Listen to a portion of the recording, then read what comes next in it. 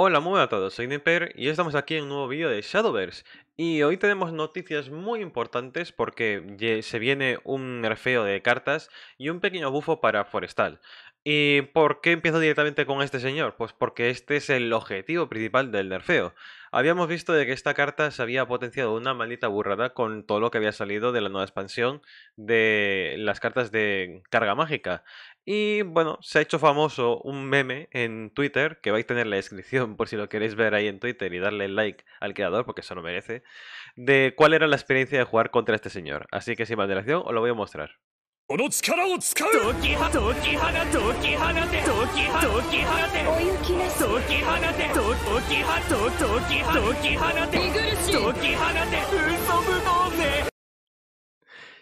Y sí, eso es lo que estábamos sufriendo siempre contra este señor.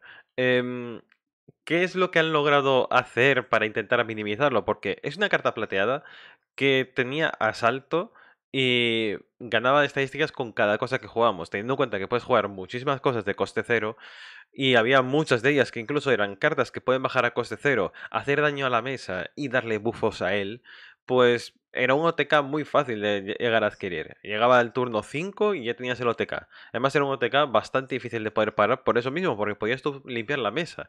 Entonces, ¿qué es lo que van a hacer con él? Bueno, pues le van a cambiar esta palabrita que veis aquí, que es la de asalto. Esta palabra va a desaparecer y se va a convertir en embestida. ¿Eso qué implica? De lo pueden jugar el turno anterior y el turno que quieren matar pueden pegar con él, pero no va a ser inmediato. O sea, no va a ser lo juego y les cargo todas las cartas encima. No, no. Si quieres matar con él, seguirá teniendo el aumento de estadísticas y todo lo que tú quieras, sí, pero tendrá que sobrevivir un turno en la mesa. Y eso ya no es tan fácil. Así que esto es un nerfeo hiper necesario para este señor.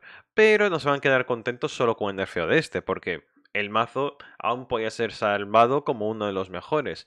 Y pues se va a comer también un pequeño nerfeo otra de las cartas, que sería esta de aquí. Esta de aquí podemos ver de que robas una carta y hasta el comienzo de, tu siguiente turno el enemigo líder o combatiente obtiene la habilidad de el daño que inflija se reduce a cero. Vale, pues esto va a cambiar para que solo afecte a combatientes. Y eso es básicamente lo más importante, porque eh, estás quitando la opción de que no puedas matarle tú desde la cabeza. Y eso, pues, habiendo, había mazos en los cuales tú podías aprovechar ese tipo de mecánicas, básicamente para poder hacer frente a muchas cosas. Entonces, eh, son dos nerfeos necesarios para esta clase, porque estaba muy arriba, con recursos muy limitados, porque ya veis, legendarias tiene aquí el pollo, tiene aquí a eh, Melina y tiene a la nova, esta legendaria. El resto eran cartas muy baratas, de, de coste de, de viales, y además es que era demasiado fácil ser jugado. Entonces va a tener ese pequeño nerfeo porque el tener un OTK es molesto.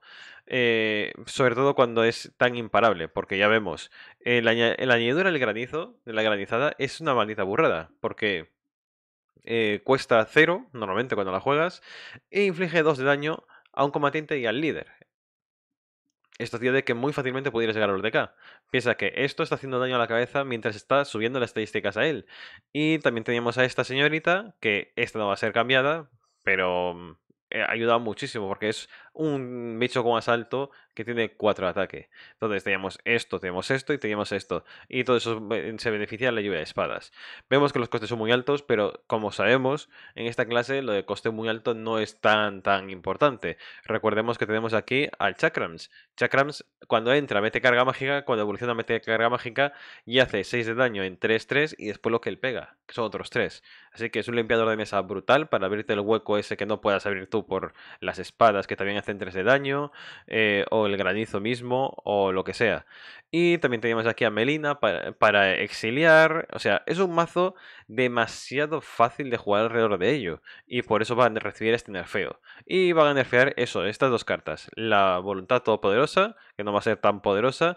Y el ador de la extinción, que tendrá que sobrevivir un turno en la mesa para poder hacer cositas. Y también os he dicho de que no solamente es el tema de bufo de nerfeos, también va a haber un pequeño bufo. Y ese bufo pues es una carta legendaria de Forestal, que era combatiente, aquí está legendario, Forestal, rotación.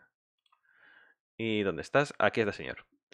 Ezia eh, lo conocemos como una carta que sí, a veces aparecía en algunos mazos, muy así limitado, para mazos de control, porque él tiene una mecánica de controlar la mesa, que estadísticas, pero sobre todo es por esta carta. Esta carta es la que va a recibir el bufo, y es un bufo que la va a, facilitar muchísimo más de ser jugada. Aquí la vemos de que tú cuando la juegas eh, es una carta que le pone menos 6 al ataque a un bicho, y si la juegas por aumento 10, entonces el comienzo de tu siguiente turno harías 20 daño a la cabeza del rival.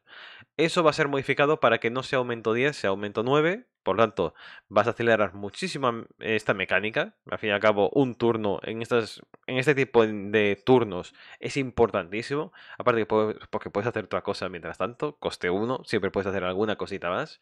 Y bueno, el tema de que también van a cambiar la habilidad normal, la que no tiene aumento. Aquí vemos de que la habilidad normal es de que a un combatiente que tú escoges pierde 6 al ataque. Pues eso va a cambiar al combatiente con mayor ataque que esté en la mesa, que se, se escoge aleatoriamente entre todas las opciones que haya. Esto es importantísimo porque, por ejemplo, eh, contra Cosmos, que Cosmos es una carta de Forestal, eh, está por aquí, aquí está. Esta señorita es invisible, entonces tú no le puedes hacer tarjeta a ella. Eh, no puedes hacer el objetivo a ella, tiene emboscada. Y ella es normalmente el bicho que más potencia de ataque tiene sobre la mesa. Entonces, perdería 6 de ataque ella. Y eso está bastante curioso. Entonces, no creo que vaya estrictamente a por ella este, este bufo. Eh, va a ir también por otras cartas que tengan invisibilidad y cosas por el estilo. O que no sean. que no puedan ser objetivo de hechizos. Y esto va a habilitar muchas mecánicas. Vale que si te enfrentas a, una, a un combatiente. a alguien que tiene combatientes, por ejemplo, imperial o cosas así. Pues normalmente vas a tener una nube de bichos delante tuya y no podrás escoger tú a uno concreto. Pero siempre vas a tarjetear al bicho que tenga más poder de ataque. Y al fin y al cabo, se quita- estás quitando ataque, no estás quitando habilidades. Eh, si te va a hacer daño por su impacto, te va a seguir haciendo daño por su impacto. Mientras el bicho esté vivo, va a poder hacer el ataque. Eh, lo único que eh, vas a mitigar la mayor cantidad de daños. Y eso, pues, puede ser muy, muy importante en algunas circunstancias. Pero yo, sobre todo, in- indicaría el tema de que aumento 10 y aumento 9 es un cambio abismal de mentalidad. Un cambio totalmente abismal de mentalidad. Y sobre todo por el- tema de que estamos hablando de que es 20 de daño al siguiente turno. ¿Qué puede indicar eso también? Pues que tú puedes jugarla en turno 9 esta y en turno 10 entrar esta personita. A ver, neutral. Aquí la tenemos. ¿Qué hace esta cuando entra con materialización? Te pone una carta en la mano de coste cero que hace 5 de daño al líder. Así que tendríamos UTK con estas cosas. Y no tendríamos que hacer en el turno 10 jugar la carta y después en el turno 11 hacer lo otro. Porque estaríamos dándole posibilidades a que el rival hiciera las mecánicas, que pudiera curarse incluso, porque esta carta, si no la juegas en tu turno, cabe la posibilidad de que tu rival invoque a su Guindalisa por materialización, si tú eres el primero que la ha invocado, y te contrarreste, porque esta carta también cura. Hace daño sí, pero cura. Así que si no eres tú el que la utiliza para ganar la partida, puedes perder la partida por culpa de estas cosas. Entonces, es un bufo bastante, bastante tocho, diría yo, eh, por las habilidades mecánicas que te habilita y por todo eso. Eh, aparte de que puedes acceder a, a nuevas cosas y mentalidades que no tenías hasta ahora. Vale que ahora mismo Forestal tiene algunas mecánicas bastante estúpidas, pero yo creo que mayormente Mayormente diría de que es un bufo a esta carta en concreto bastante, bastante tocho. Y puede que se llegue a notar. Aún así, ya os digo, lo más importante de este parche es el que se va a aplicar a Rúnico. Rúnico ahora mismo va a dejar de ser ese mazo hiper todopoderoso que tenía siempre la amenaza constante de que te podía hacer TK. Y ya veis de que yo entre los mazos que tengo aquí, pues lo he probado y es un mazo que ya os digo, bastante estúpido, te puede salir muy bien, te puede salir muy mal, pero el ratio de veces que te puede salir muy bien era bastante elevado. Así que yo lo veo bastante bueno el tema de nerfeo este y me gustaría saber vuestra opinión en los comentarios. Eh, ¿Vosotros lo hubierais nerfeado de esta manera a este señor? El tema de quitarle asalto.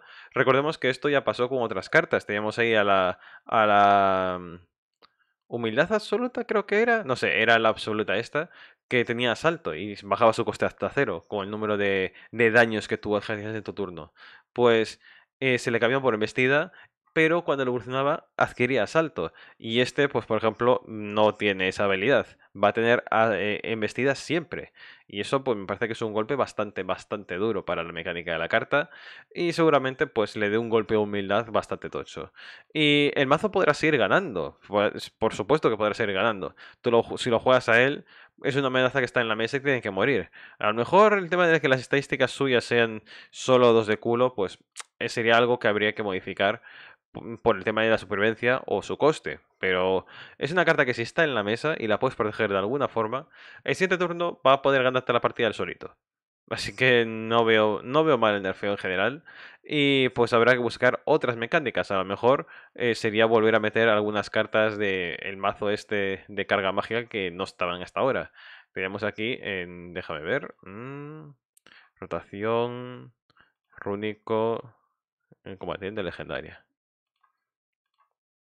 Tenemos aquí carga mágica algunas cartas interesantes. Sobre todo tenemos aquí a Kwon.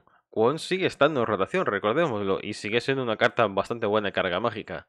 Aún así, yo creo que todo esto lo que va a favorecer es de que hay, hay experimentaciones alrededor de Cefi. Y Cefi no es una mala carta, no es una, muy, no es una mala mecánica tampoco.